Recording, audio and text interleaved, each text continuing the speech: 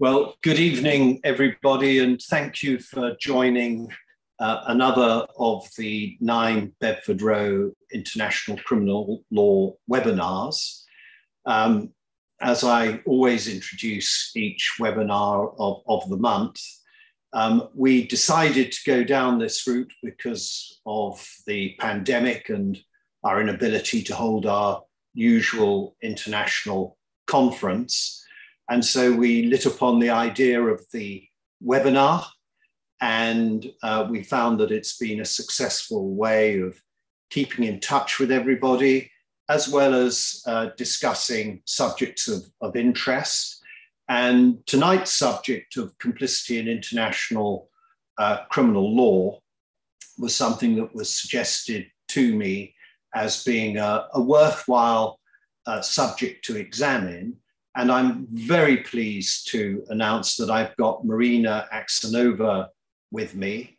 Um, she is the assistant professor at the IE Law School. That's the law school for innovative education, which is a very interesting project and um, of, of great significance for international lawyers because it's a, a university that trains students in comparative law.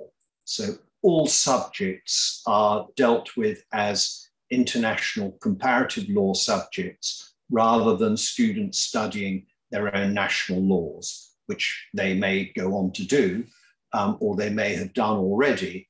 Uh, but it is a, a, a, an institution devoted to teaching uh, the different systems uh, that there are, how you approach those laws. And of course, for international criminal law, that's very important, as international criminal law is a construct of, of different nations uh, and a construct of different ideas and philosophies um, that has tried to harmonize uh, what international criminal law should be. Well, um, I'm very pleased to have Marina because she has written a uh, leading book. She's the author of Complicity in International Criminal Law, which is a very thorough examination of the law at that time and um, a, a, very important um, authority to consider when looking at cases uh, involving complicity. So, having introduced you, Marina, um, we're pleased to have you here.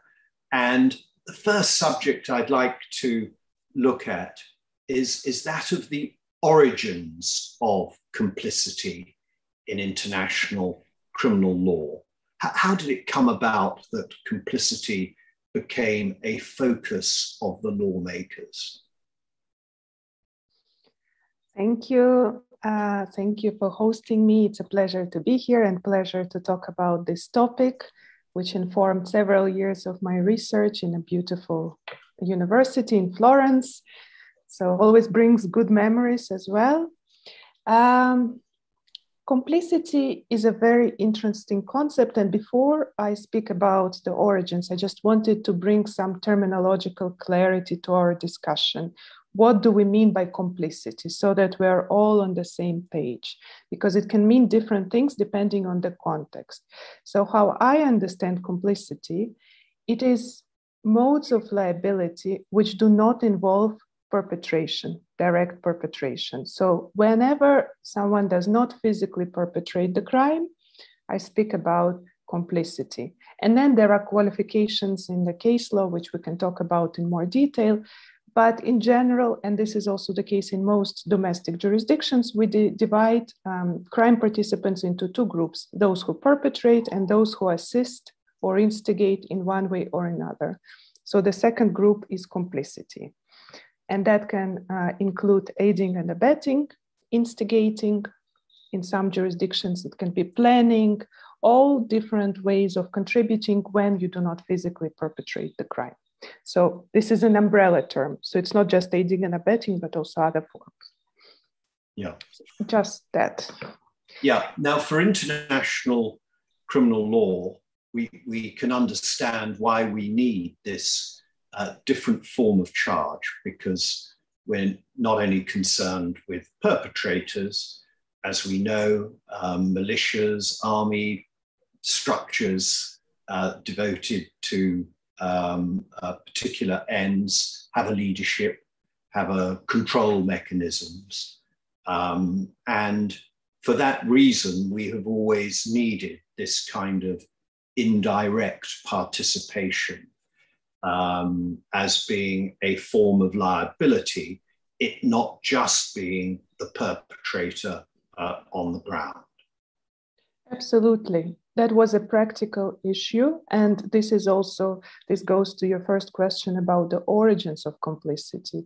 So, at, at the dawn of international criminal law, how we know it, uh, when the questions of uh, responsibility up to the Second World War were decided, there was a practical problem. How do we deal uh, with uh, collective criminality when big portions of the populations are involved, when armies are involved, and so on and so forth? So, different solutions have been offered. Um, at that time, uh, including conspiracy and complicity. And complicity was uh, closer to continental lawyers, and conspiracy was a solution offered by, by the US delegation and uh, at Nuremberg, and also was included in the Nuremberg Charter. Uh, so we have both uh, instruments included in the Nuremberg Charter, but we have conspiracy taken precedence because at that point in time, uh, it was understood that it would be easier to deal with mass atrocities using the concept of conspiracy. So, the way the Nuremberg Charter is formulated, it talks more about this uh, general uh, umbrella concept of conspiracy. So, different um, elements and different crimes are covered by the general agreement to commit crimes. And this way, the prosecution at Nuremberg and also at Tokyo also secure themselves in case they don't have enough evidence for specific war crimes or crimes against humanity, they can always return to criminal agreement or conspiracy. And then, how complicity emerged in this um, pattern is that the French judge at Nuremberg and also the one uh, at Tokyo, they both raised questions of fairness. They said, well, perhaps we should not use conspiracy as a big umbrella term. For instance, Judge Donnedieu de Vabres at Nuremberg criticized heavily um, this concept of conspiracy, and he said, well, complicity in continental law systems is perhaps a more fair way um, to hold perpetrators accountable because it provides for a direct link to the specific crime, whereas conspiracy is criminalizing the agreement itself. Um, and as we know at Nuremberg, uh, the general grand conspiracy charge based on Mein Kampf was not successful, whereas yeah. uh, at Tokyo it was successful. So it was uh, grand conspiracy charge was successful. Yes, it, it's always fascinated me that there was a divergent uh, approach between the two tribunals, Tokyo and Nuremberg, in, in that regard. Did, did that reflect the composition of those courts, or was it evidential? What, what, what, why, why did that divergence happen? It's an interesting question. Uh, primarily, my understanding is that um, there was more um, there was more scrutiny when it comes to evidence at Nuremberg, whereas Tokyo was a little bit uh, a post factum affair and there was more pressure to, to, to get it done. Also, I, I truly think it's a matter of composition and luck and the way the evidence was looked at. And also, um, another reason is that modes of liability as such were not at the center stage in general. So it was not um, very important for the both tribunals at that time to establish exactly the connection between uh, the defendants and the crime. They were both fact based. So both the Nuremberg and the Tokyo judgment are very much fact based. But uh, at Nuremberg, the idea that Mein Kampf, the book by Hitler, can be used as a proof of 15 years of uh, criminal conspiracy was just not considered uh, sufficient, whereas uh, in, in Tokyo it was uh, considered enough to have some, some kind of evidence of a long term criminal agreement. But I would not be able to say in more depth as to why there was divergence yes. at that point. Um, the, the conspiracy uh, type case uh, is, is always centered on the plan called the agreement, but really the plan and the collection of individuals and uh, groups that they represent uh, forming the policy. Um, and um, that has always been a neat way in the uh, uh Anglo American uh, uh, type common law jurisdictions of dealing with, with leadership. Um, is is uh, what we have, though, with complicity something more connected with the acts that take place rather than the agreement? Is, is, is that is that was that the concern of the, the French judges? Yes, so that was mostly uh, the concern of French judges.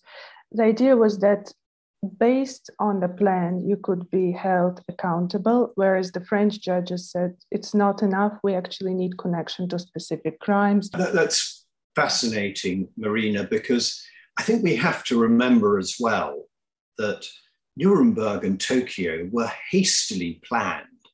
Uh, there, there, there, there was little for them to draw upon, whereas now we have a, a body of work post 1945 um, that we can draw upon in a way, and we've had much more discussion, whereas those were courts, let's face it, that were established by the victorious powers with a perspective from their side uh, uh, alone. Yes, yes, there was a unique uh, situation and uh, an interesting beginning for international criminal law because obviously also in terms of sources of law we are in a completely different place right now because we have nuremberg and tokyo uh, control council law jurisprudence and of course modern jurisprudence uh, to draw upon whereas at the point of creation there was just uh, the need to prosecute perpetrators of mass atrocities and consensus, which I write a lot about also in other pieces, that there was consensus. It was a moment of understanding that we need to do something about perpetrators of mass atrocities and to move forward. But the way it was done was a complete in a completely different context as compared to now. Let, us move forward then to the next significant signpost, which is the case of Tadic, obviously. Now, Tadic himself, as we know, was a small time cafe owner in Kozarac and a perpetrator uh, within the grand design and, and scheme of things. Um, what, what then happened when we wind forward in time and we come to that moment when the ad hoc tribunal for Yugoslavia and Rwanda uh, that they're established and the uh, lawmakers and decision makers are, are looking at the issue again. Had anything changed from Nuremberg, Tokyo?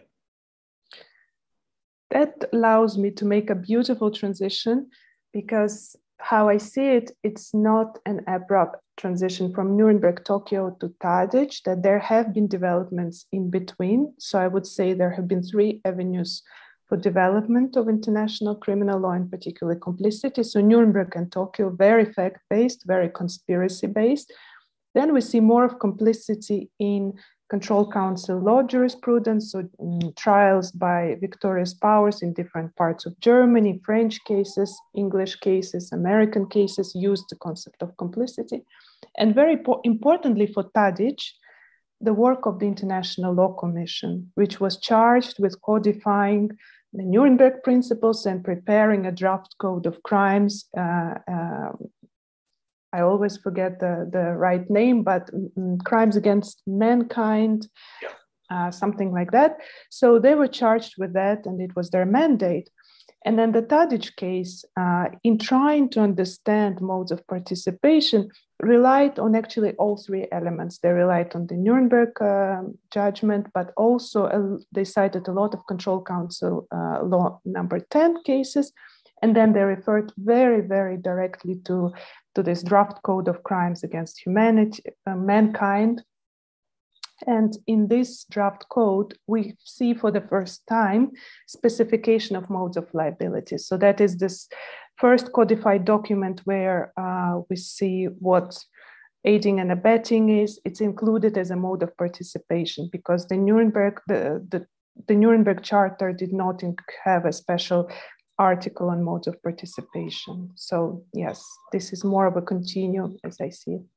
Yeah, and, and obviously the issues had to be looked at afresh um, at the Yugoslavia Tribunal particularly and uh, they had to consider the various modes of participation that may, may take place um, in these uh, uh, large cases involving, often as they did, war crimes, crimes against humanity, and, and even genocide. And so we, we, we see complicity emerging as a, a, a, a more definite concept than conspiracy. Am, am, I right in that? Absolutely, yes. At this point in time, uh, the Yugoslavia Tribunal, and in particular the Tadic Chamber, was prepared to go into depth into different modes of liability. So, focusing more on the link connecting uh, the accused with a crime. And that can be explained by the evolving nature of international criminal law, and that we already had the draft code of crimes against mankind, which had an article on modes of liability, but also the fact that it is a lower level perpetrator. And in fact, the conspiracy charge may not have even been that relevant at that point in time for this particular case that brings again the question of luck and just circumstances to, to the table, which is very common for the International Criminal Court and the ICC, uh, the, the ICTY and so on. But where, where does complicity fit in international customary law, would you say, which, which of course is, is behind uh, all of this? Are you able to help us with that? Explain where it fitted in in those terms? Yeah, this is an interesting question relating to the sources of international criminal law, which is hotly debated by scholars since the beginning of international criminal law. What are the primary sources? And custom has been used a lot uh, in the jurisprudence of the ad hoc tribunals, a bit less by the ICC. But I would say that customary international is not that reliable because we can we can find evidence of different approaches um, when we speak about modes of liability in particular. And why is that? Because modes of liability come from domestic criminal law. So the evidence of custom also comes from domestic criminal law. It's not the same custom that we talk about when we talk about state responsibility or issues related to treaty law and interstate relations. So when we speak about uh, custom in, in international criminal law, for instance, for the joint criminal enterprise, the cases that were used to support the first instances of the joint criminal enterprise have been derived from Italian criminal law and so on. So I would say uh, custom is a, a, source that comes both from domestic law and also from Nuremberg jurisprudence, post World War II jurisprudence that would also be evidence of custom. So when we look at the Tadic judgment and also the Erdemovic judgment, the first judgments uh, that came in the 90s, we see um, a lot of references to the Control Council uh, law number 10 jurisprudence. And there you can actually see instances of complicity. So, especially in the French zone, there have been trials, for example, Becker, which was expressly a complicity case. And then, of course, um, the English cases, so some of them use complicity. So I would say that would be the first customary law evidences of complicity. And then uh, we have, of course, uh, references to domestic criminal law as well. It's the same issue of collective criminality that was present at Nuremberg then uh, in the jurisprudence of the ad hoc tribunals and now faced by the ICC.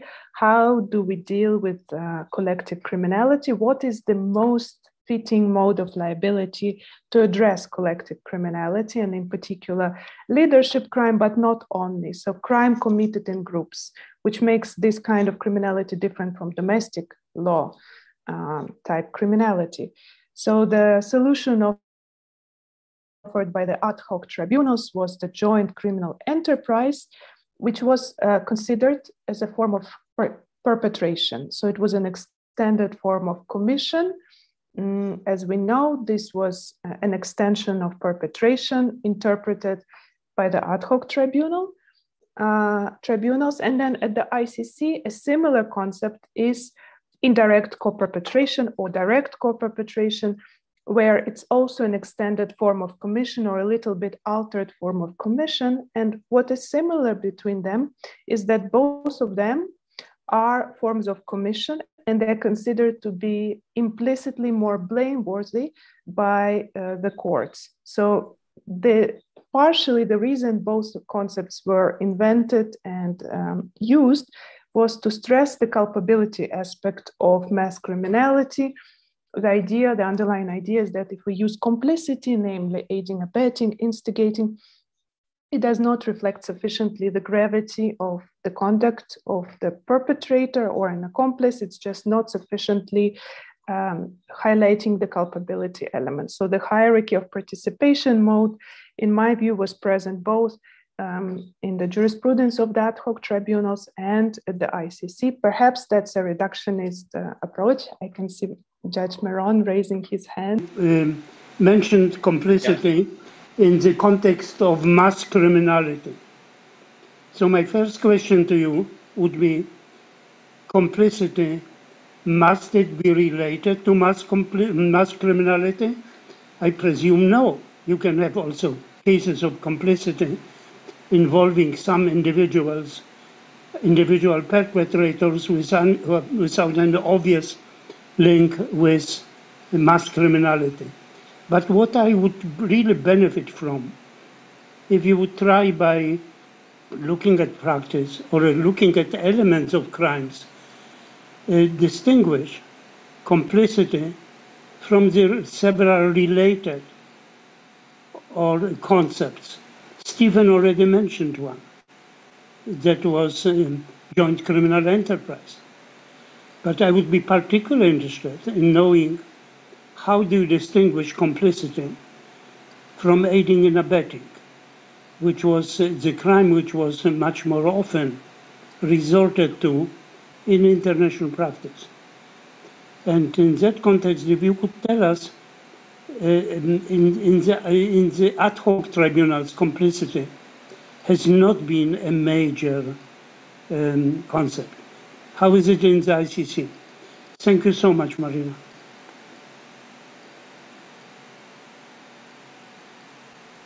Thank you for your question, Judge Meron, for both questions, because they help to clarify the issue. So complicity must not be related to mass criminality. So that's very good to make it clear. In fact, complicity, uh, it's a concept more suitable for connecting perpetrator to an individual crime. So, this is one of the strong points of complicity. It does not require group committing crime. So, we talk about the group committing crimes, that, that other forms of participation may be more suitable. So, this is definitely one uh, important point. Uh, complicity versus aiding and abetting, as I said in the beginning, the way I define complicity is it's an umbrella term. It's uh, it includes aiding and abetting, instigating, and also at the ICC, it includes contributing to a group, which is 25.3d. So, for instance, if I use now the example of the Rome Statute, we have 25.3a, which is commission jointly or indirect uh, perpetration. So, it's all forms of commission. Then we have B, 25.3b, which is ordering and different forms of ordering, soliciting, inducing, the same umbrella. Then we have 25.3c, which is aiding and abetting. And then we have 25.3d, which is contributing to a group. So I would say 25.3b to d are all forms of complicity. And I apologize now for technicality, but I think it's important to, to distinguish. And 25.3a is perpetration, so it's not complicity.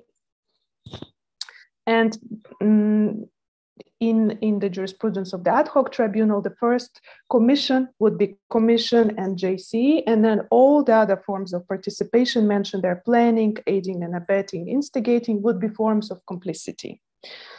Uh, my understanding that uh, the International Criminal Court is not using complicity a lot. In fact, they stick very much with uh, 25.3a and referring a lot to indirect co-perpetration that is in some way similar to the joint criminal enterprise.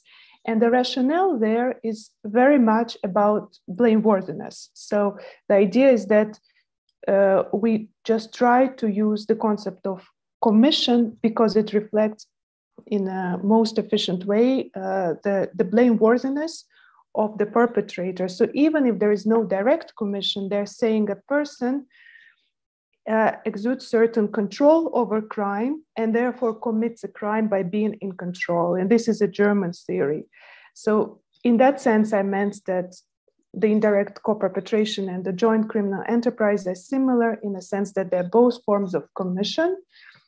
Uh, I do think that complicity in, as in 25.3d, the last point uh, in the Rome statute, could be sometimes more suitable to reflect what is actually happening on the ground. And I do think that a little bit of flexibility could be useful because it's not necessary that commission reflects higher degree of blameworthiness. So my position would be that it really depends on the circumstances of the case. And as we saw with Charles Taylor um, and the special court for Sierra Leone, he was um, convicted of complicity, aiding and abetting crimes, and he was sentenced to 50 years of imprisonment. And in my view, this approach was quite, um, quite good because we know exactly that he contributed, he helped the army. He was not the direct perpetrator, so we know he was uh, helping, and we also know he was quite blameworthy.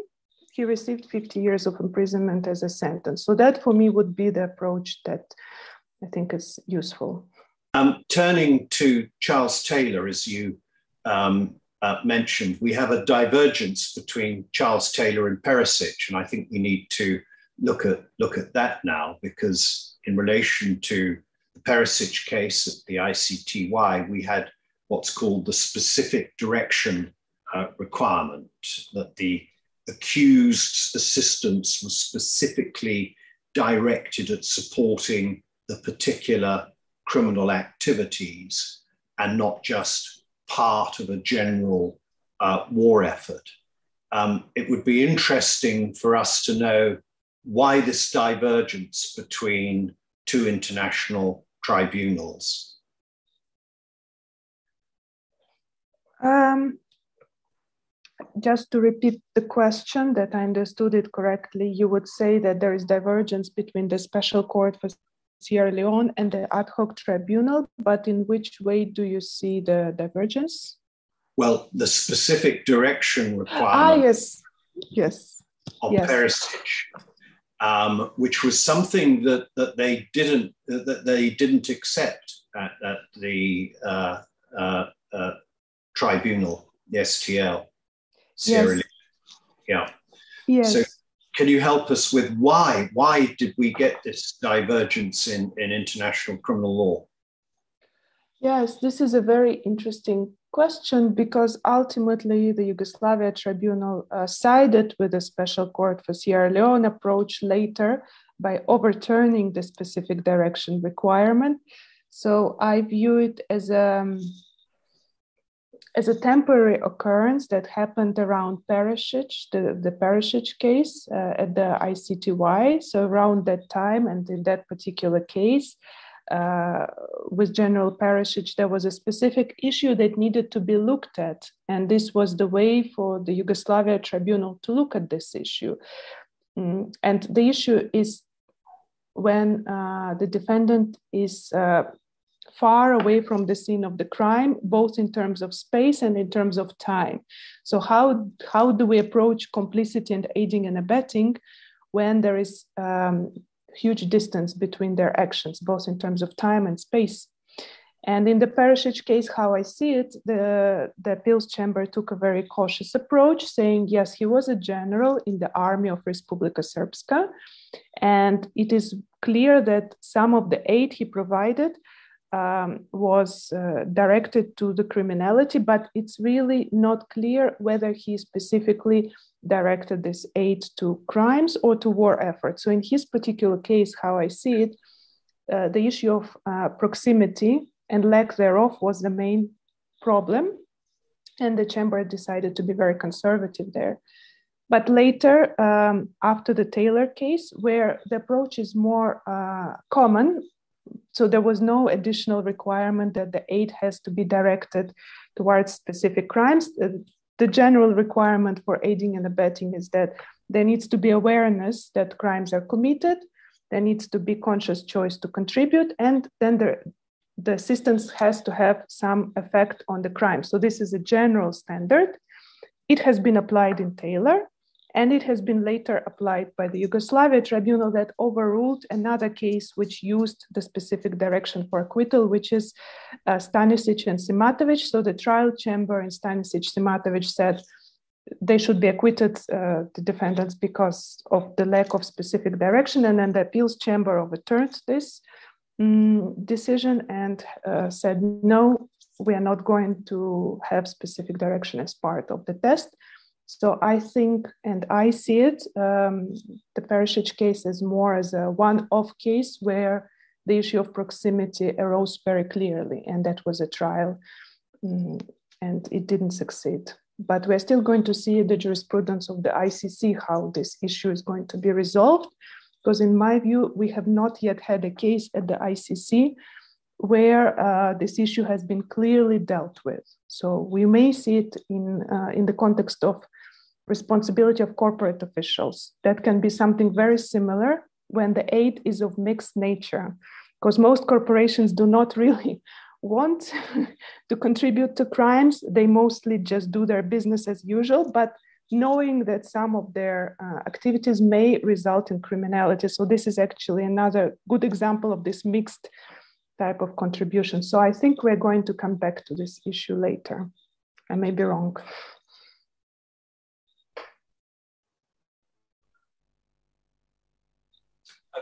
Did it um, uh, different as to what was taking place? Did the courts come at the issue from a different direction? One was a, a war between the former republics of uh, former Yugoslavia who were in conflict over a number of different uh, factors, whereas uh, assets and resources in a neighboring state so how does its objective unlawful activity? Whether the factual circumstances really drove uh, the chambers uh, to different conclusions in both cases in Taylor versus Perisic, I would have to think about it because how I saw it was mo- it was mostly an argument um, about the legal test. So, what kind of legal test we use? Do, do we use specific direction or do we not use the specific direction? Because from where uh, I see it, but of course I need to revisit the specific factual circumstances. The, the situations were quite similar. So there were there was provision of aid to military and uh, both financial, because from what I remember, Perisic also provided some financial assistance. I may be wrong, so there was financial and also military equipment type or training type assistance provided by both of the accused.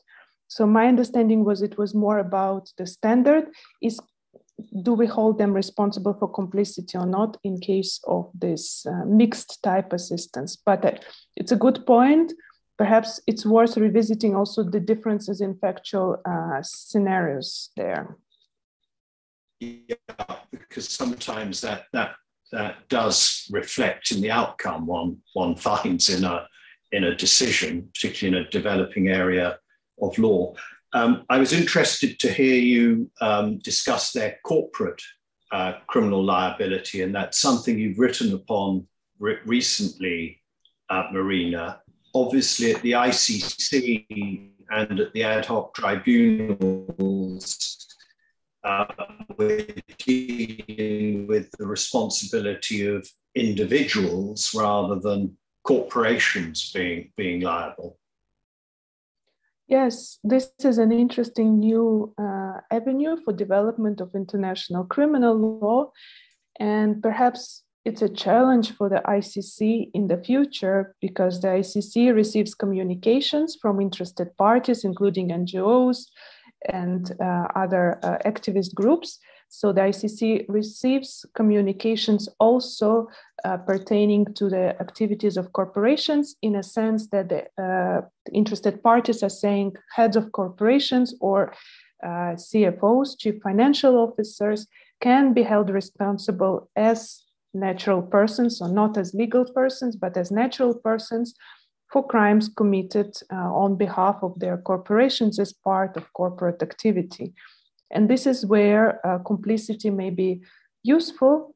So recently I um, advised a little bit uh, a German NGO, a European Center for Constitutional and Human Rights, which filed such communication to the ICC. Uh, it's now under uh, consideration by the Office of the Prosecutor, so we don't know the outcome yet.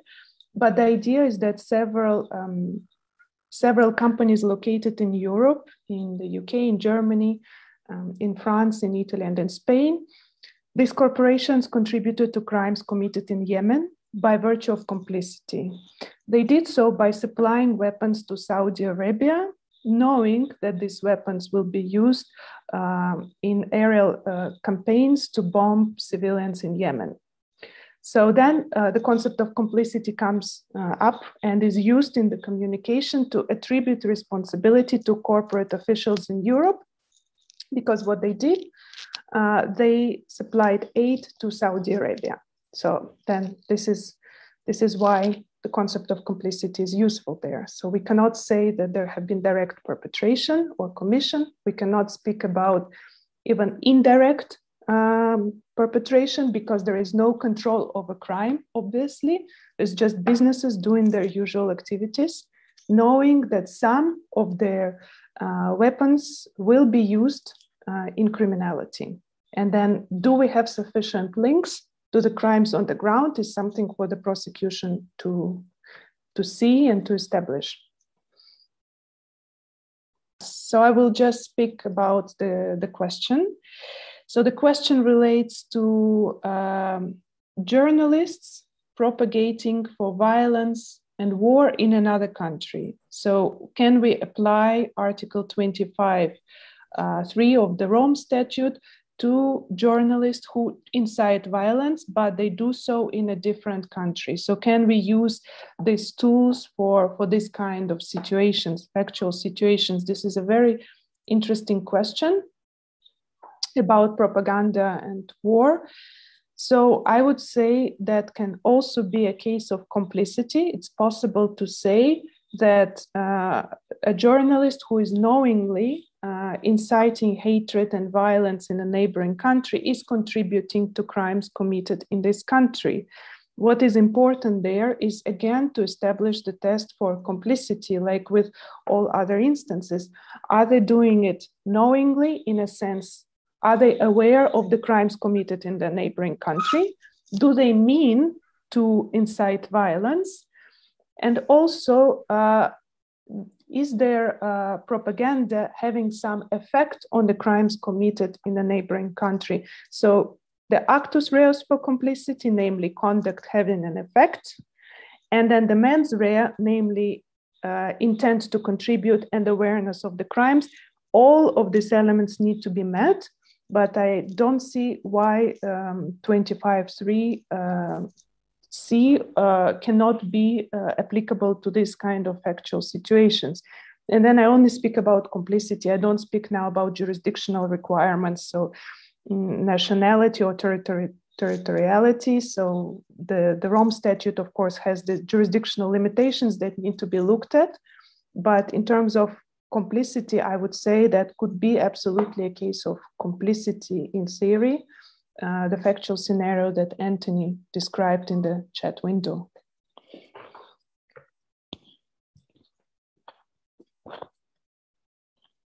And then I see a second question uh, by Jennifer Trahan. Um,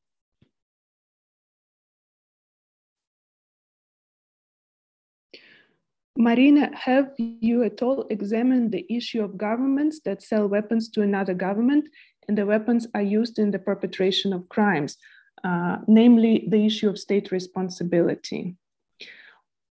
Or was the Yemen case mostly about corporations and companies? So yeah, the the Yemen case, uh, the submission to the ICC, the communication to the ICC mostly deals with responsibility of corporate officials. My understanding, and I have not seen the final version of the communication. I only participated in part of the work, my understanding is that uh, it also mentions government officials. So it's both corporate officials in these uh, countries. So these, these companies in five European countries, they form a consortium. So people are mentioned in different countries, but also why government officials are mentioned in the communication is because governments give authorizations for weapon supplies. So it's actually a link, it's a connection between corporations and governments because one cannot export weapons without governmental authorization. But my understanding is that communication still places more emphasis on corporations because it would be really difficult now to also go up the governmental officials uh, for, for a variety of reasons. But then again, I have not seen the final version of communication, whether uh, what kind of attention is given to both parties. So, in terms of international criminal law, governmental officials can absolutely also be um, part of this uh, case. Whether they are or not, I wouldn't know. And then, of course, it raises separate issues of state responsibility. But the area of weapons trade, in particular, is quite um, sophisticated and complicated. It allows a lot of scrutiny in a state so a lot of ministries are assessing whether to export weapons. So then that would require a lot of mm, revealing a lot of confidential information. So I would not know how this issue can be approached in the context of state responsibility and how much the governments would be able to disclose their internal deliberative processes when it comes to weapons and uh, supply weapons and how these authorizations are granted. Uh, but there is arms trade treaty which has been ratified by the European countries, which requires certain degree of due diligence. Just it's not clear how how what is the standard in, in practical terms, the due diligence standard. Yeah, Marina, um, just looking at the issue though, isn't there a problem with the intention um, to say that the CEO intended that war crimes would be committed um, is is a leap too far, isn't it? It is. Yes, this is a big, big problem. So I see three problems with this uh, communication and this approach. One is that we have state authorizations so the corporate officials will say, well, the states uh, actually uh, granted us authorizations to export these weapons, and the states are under obligation of due diligence under the Arms Trade Treaty. So we are in compliance because the states authorized us and the states must do due diligence. The second is exactly the purpose to contribute. Article 25.3c of the Rome Statute requires for aiding and abetting that uh, the contribution is done with a purpose of facilitating crimes. And how do we prove purpose to contribute with corporate officials? Because they will yeah. say, our purpose is to, to, to conduct business, to make money. Our purpose is not to contribute to crimes. And uh, I have an answer. I don't know if it's convincing, could be just me thinking creatively. Uh, I would say that making money is a motive, it's not a purpose. So it's a reason why they do it, but it's not necessarily the intention. So I would say um, motive can be used as a proof of purpose. So the, the fact yeah. that they continue the pattern of conduct over years, continue supplying weapons, knowing that crimes are still committed, actually, on the other hand, proves uh, the purpose to contribute. So the motive to get money can be used uh, to support the purpose. But it's a creative approach, and I may be absolutely wrong in, in this statement. This, this is really an important factual question, and uh, it also relates to, to the way conflicts are. And for instance, with respect to Yemen, there has been an embargo uh, on the supply of weapons to Houthis, but not to Saudi Arabia. So the Houthi rebels, which is another fraction fighting and, of course, also committing crimes, like it often happens, both parties commit crimes. But there has been an international consensus, uh, so to speak, not to supply weapons to Houthis, but there has not been such an embargo with respect to Saudi Arabia and supporting Saudi Arabia with its campaign. So in this case, I would see in this particular case, I would see it justified to file um, complaints to the International Criminal Court to bring back the balance a little bit. And that links to the question in the chat box about the power imbalances and how do international courts deal with power imbalances, uh, also when it comes to the conflict. And I would say it's one of the most difficult issues. And my senior colleagues perhaps have more experience, uh, practically speaking, with this.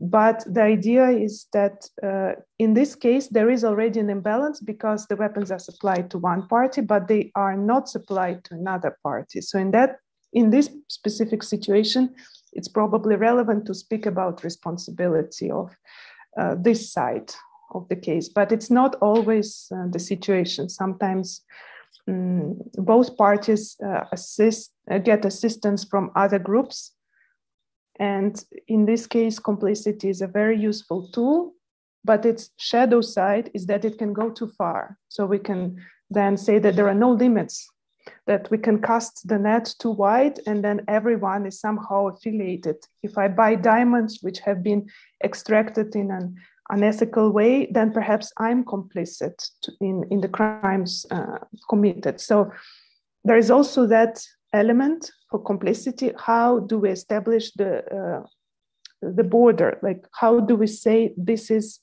this is where the line is?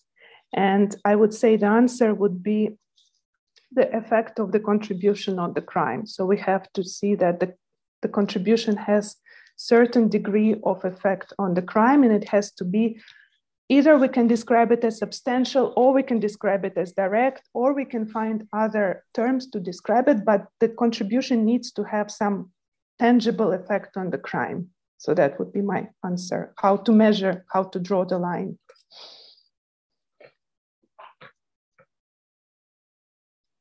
um, can you here can you see that on the chat box marina um, about the policies of constructive engagement that companies go into regions under constructive engagement. Yes, I can see this question, and I would love to have more conversation with the author because I, I'm not sure I understand what they mean of what they mean by constructive engagement. If the question is about the politics of it and uh, asking the companies to go into countries which already have certain human rights issues and violations which is exactly the situation with saudi arabia and yemen. So the companies may say well then we are not even encouraged to go and do business there. So if, if this is the question with respect to countries that have human rights issues, then it's absolutely a difficult question to resolve. And it's about the consensus being built in international community. To be honest, I think it's a question of consensus, how much we are ready to go after corporations and how much we are ready to impose strictly due diligence obligations for corporations in general. Because at Nuremberg, there was some discussion about organizational responsibility. We know that there have been some cases post Nuremberg about corporate complicity, and companies were held responsible or corporate officials, but then it stopped. So there was no more consensus to go in this direction. What I personally feel right now is that we have a renewed interest in holding corporations accountable, also because of Facebook and all these monopolies and all of that, that the consensus is slowly building up to have higher degree of scrutiny. And then the scrutiny will apply both to countries where human rights are not uh, enforced and also to countries um, so-called democracies uh, or established democracies where there can also be violations of human rights. So it's not uh, endemic for endemic to countries like Sudan or Afghanistan. We can see violations um, perpetrated by corporations also in other countries. So it's more of a general consensus whether it exists or not. And my sense that we're moving towards that point. I may be wrong.